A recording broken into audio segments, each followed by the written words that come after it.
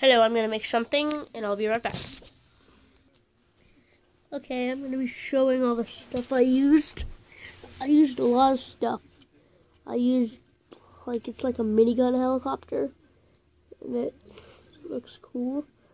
So he, he pushes buttons. This would turn, this would shoot. It would, like, click-clack back and forth. And also the, the thing making noise is this. There's like little green blocks in there. And this would, if someone tries to open it when you're not, doesn't know, it will hold it shut. And this has the booster on the back.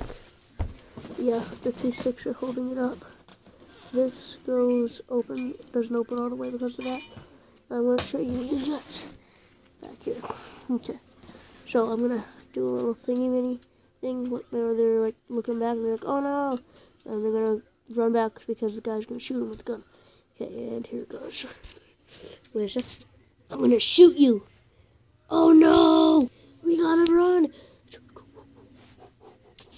Not today.